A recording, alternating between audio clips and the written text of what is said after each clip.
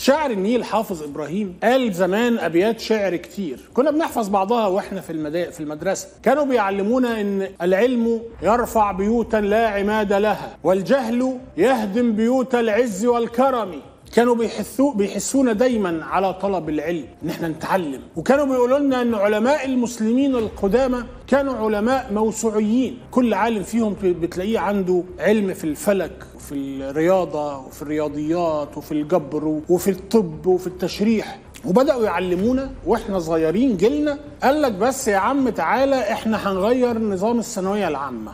وكل شوية يقولوا لنا تطوير التعليم. جابوا أحمد فتحي سرور وقالوا هيطور التعليم. مش أحمد فتحي سرور وبعدين جابوا الدكتور حسين كامل بهاء الدين وقالوا هيطور التعليم. ومش حسين كامل بهاء الدين وبعدين جابوا مش عارف المحجوب وقال هيطور التعليم. وهكذا. كل ما واحد فيهم يتضايق شوية يطور التعليم. السر في تطوير التعليم إنهم مش عايزين يبنوا مدارس جديدة ومش عايزين يعينوا مدرسين جداد لأن عندهم تقريبا عجز حوالي 400 ألف مدرس. فيعمل إيه؟ يصرف على التعليم؟ لا حاشا لله ما يصرفش على التعليم. يجيب واحد كان فاشل وهو صغير وما عرفش ياخد ثانوية عامة من مصر وفشله مثبوت في ثلاث أربع جامعات. الشاب ده اللي شفناه قبل كده في مشهد كوميدي في فيلم الناظر بتاع علاء ولي الدين الله يرحمه في بداية الألفينات كان نموذج للطالب الفاشل اللي واخدها بالدراع وبيقول ما فيش تعليم هنا. يبدو إن نفس السحنة دي لما كبرت بقت دي. وسبحانك يا رب بقى وزير التعليم ويبدو إنه نفس نفس الكلام ونفس الخطة ونفس المبدأ عنده إنه بلطجي وفاشل وما عندوش أي مؤهلات